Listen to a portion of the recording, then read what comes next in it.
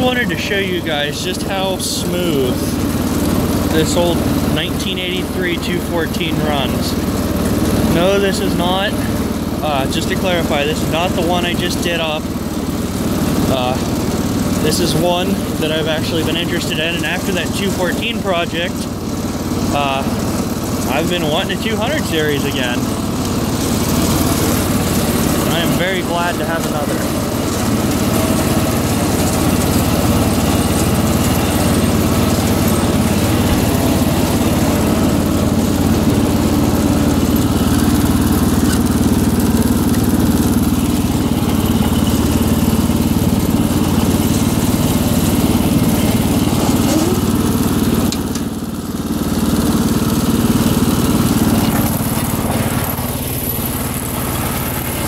She is.